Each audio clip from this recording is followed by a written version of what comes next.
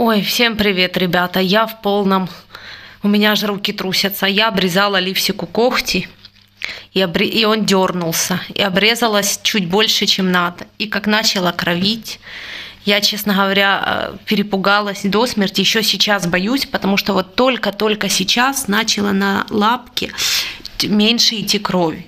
То есть вот обрабатывала хлоргексидином. Ливсик, ну, на Ливсика настроение это никак не влияет. Он веселый, играется, бегает себе. Он сел на клетку, а с клетки так кровь течет, кап-кап. Мне ж, мне ж плохело. Хорошо, что я хоть крови не боюсь.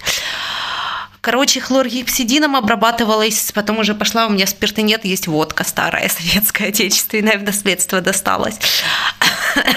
так, я уже и так, и так, но вот вроде сейчас отстала от него, ничего не делаю, и смотрю, что все-таки а все равно еще кровит. Еще он, видите, он там кровь, все равно еще вот с того вот этот когтик пострадал. Но я так уже по интернету вроде бы оно просто долго кровит, но в итоге должен сгусток образоваться. Дицинона у меня под рукой все равно нет, к сожалению. Сейчас будем что-то думать. Ой, никогда спокойно не поживешь. Это кошмар.